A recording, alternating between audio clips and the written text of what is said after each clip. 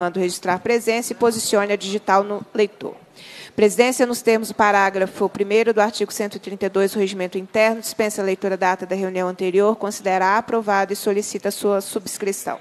Essa reunião se destina a apreciar a matéria constante na pauta, a receber, discutir e votar proposições da comissão. Passa-se a primeira fase da ordem do dia, que compreende a discussão e votação de pareceres sobre proposições sujeitas à apreciação do plenário. Projeto de Lei Complementar número 23 de 2019, em primeiro turno, de autoria do deputado Carlos Pimenta e outros, que dispõe sobre a apuração do cumprimento do percentual mínimo de recursos a serem aplicados em ações e serviços públicos de saúde, nos termos do inciso 2 do parágrafo 2 do artigo 198 da Constituição da República e na manutenção e desenvolvimento do ensino nos termos do caput do artigo 212 da Constituição da República e do caput do artigo 201 da Constituição do Estado. Designo como relator da matéria o deputado Cássio Soares e indago se está em condições de emitir seu parecer. Em condições, senhora presidenta.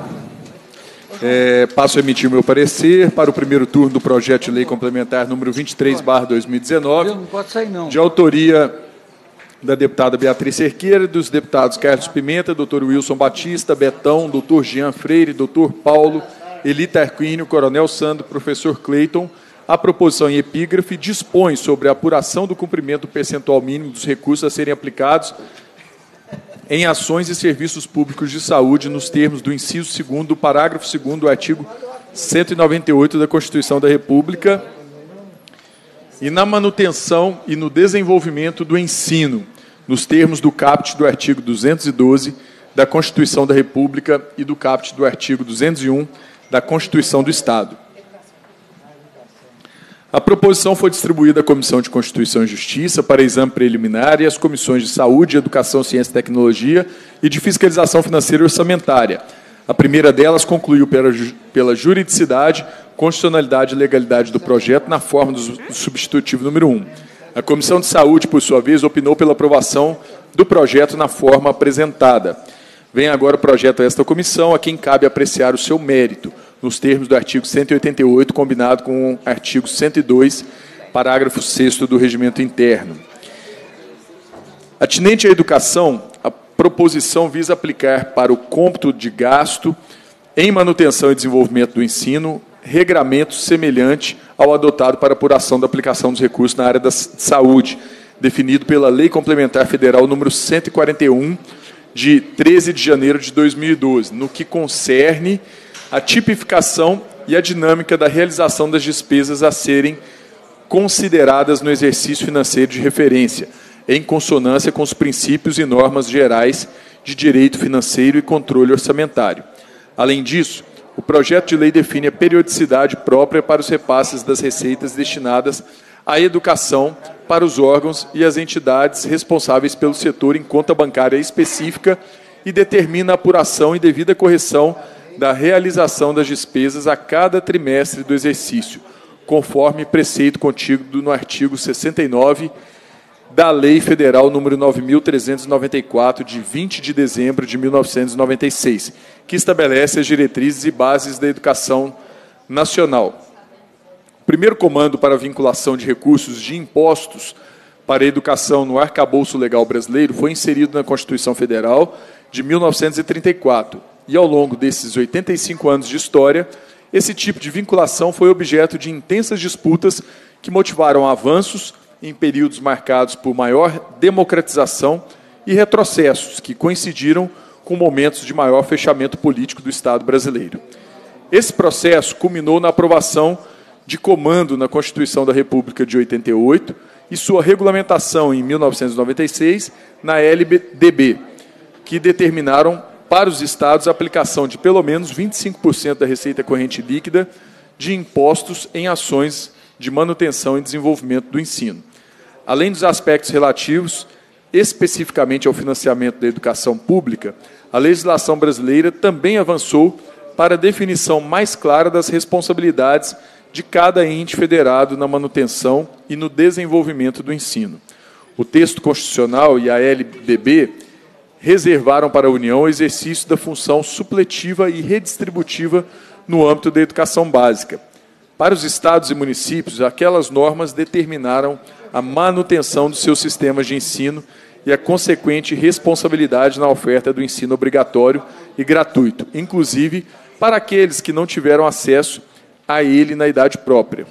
Com a entrada em vigor da emenda à Constituição número 59 de 2009, a educação básica passou a abranger a faixa etária de 4 a 17 anos, ou seja, da pré-escola ao ensino médio.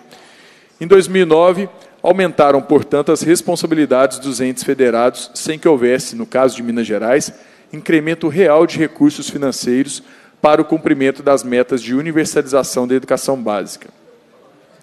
O Fundeb substituiu um Fundef como principal fonte de financiamento da educação básica.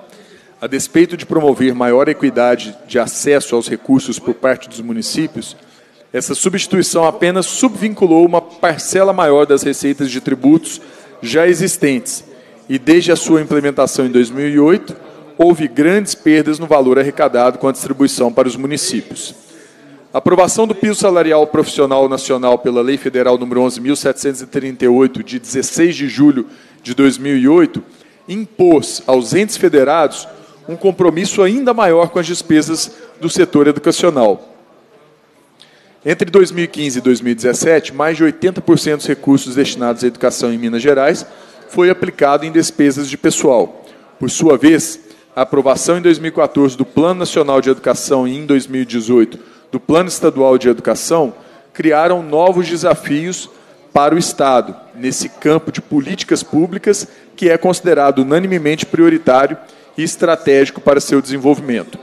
A primeira comissão concluiu pela constitucionalidade da matéria da forma do substitutivo número 1 um que apresentou, que em linhas gerais flexibiliza o compromisso do Estado com o cumprimento dos mínimos constitucionais, assumindo a situação contingencial das contas públicas como regra acima dos princípios que informam a atuação do poder público nas áreas de saúde e educação. Em que pese as preocupações de ordem econômica, entendemos que o aumento da carga estadual de responsabilidades no campo educacional, num contexto de restrição orçamentária, requer o fortalecimento e maior eficiência de mecanismos de planejamento e gestão pública. Conforme asseveram os renomados juristas Fábio Conder Comparato, Heleno Taveira Torres, Hélida Graziani Pinto e Ingo Wolfgang Sartre, no artigo Financiamento dos Direitos à Saúde e à Educação, mínimos inegociáveis, estamos em pleno processo pedagógico e civilizatório de educar e salvaguardar a saúde de nossos cidadãos, o que não pode ser obstado ou preterido por razões controvertidas de crise fiscal. Nada há de mais prioritário nos orçamentos públicos que tal desiderato constitucional, sob pena de frustração da própria razão de ser do Estado e do pacto social que ele encerra.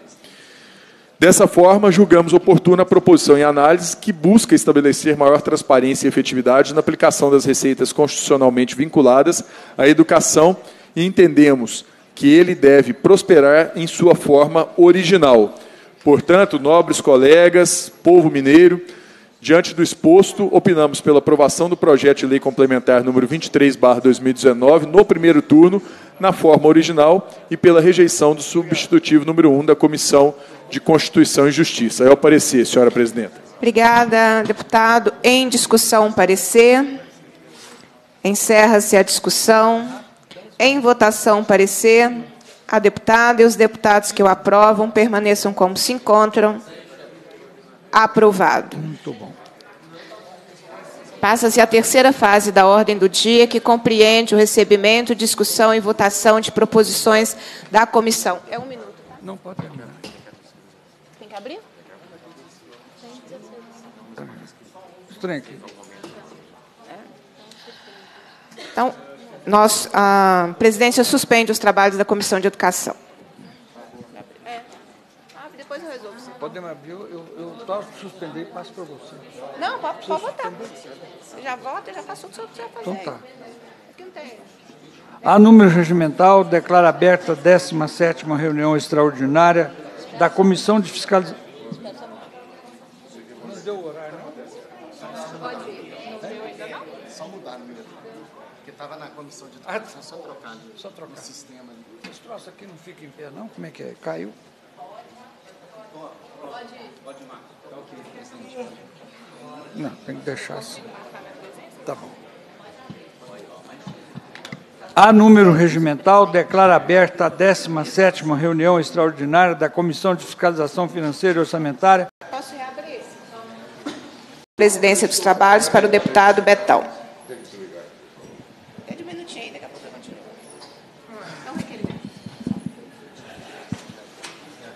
Muito boa tarde. O requerimento da deputada Beatriz Cerqueira que seja realizada visita ao prédio 2 da Escola Estadual Governador Milton Campos, Estadual Central, no município de Belo Horizonte, para verificar a importância do funcionamento desta unidade. Pode, o Eli está substituindo. Então, os deputados e deputado que concordam, permaneçam como estão. Aprovado, devolvo a palavra para a deputada Beatriz Cerqueira. Cumprida a finalidade da reunião, a presidência agradece a presença dos parlamentares, convida a todos para o acompanhamento das discussões do Assembleia Fiscaliza, convoca os membros para a próxima reunião ordinária, determina a lavratura da ata e encerra os trabalhos.